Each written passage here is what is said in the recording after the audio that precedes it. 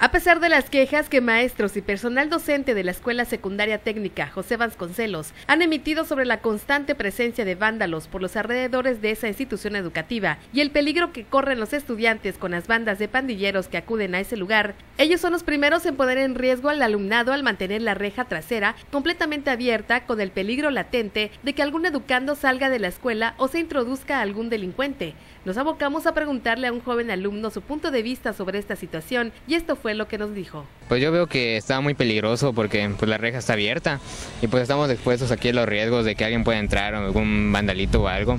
Igual está riesgoso porque podemos escaparnos así muy fácilmente. Se, se lo dejan abierto porque circulan mucho, salen y entran y lo dejan abierto pero no parecen que les preocupe mucho tampoco.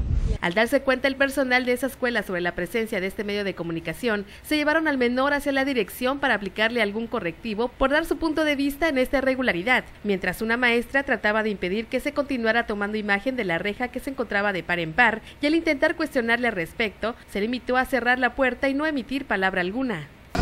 Tienes que apagar tu cámara, por favorcito. ¿Sí?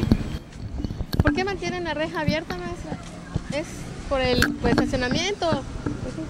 Hay peligro latente con los alumnos, ¿no? Nos dimos cuenta que había unos señores platicando con unos alumnos hace rato, por eso paramos. Cabe hacer mención que en un sondeo realizado con amas de casa mencionaron lo peligroso que es el que se mantenga abierta la reja exponiendo a los estudiantes. Pues yo siento que está mal porque se supone que si ellos tienen una disciplina con los alumnos, se supone que todos tienen que tener esa disciplina, nadie tiene que estar por acá en la REA y menos platicando con un grupo de, bueno, de adolescentes que están aquí en la escuela. Yo digo que está mal. Es un descuido de ellos, porque pues yo digo, si yo veo que está abierto, pues automáticamente nos tiene que entrar la curiosidad de estar afuera, ¿no? Como estudiantes, porque en realidad, como todo joven, somos curiosos y a la vez nuestras ociosidades a veces los, hacemos cosas buenas pero pero está mal.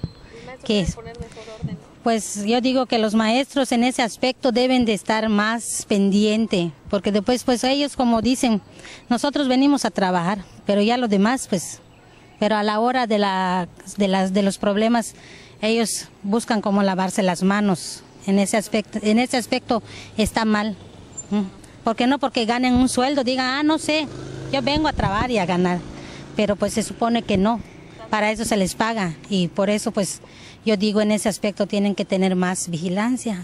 Con imágenes de Julio May reportó para Notivisión, Landy Vera.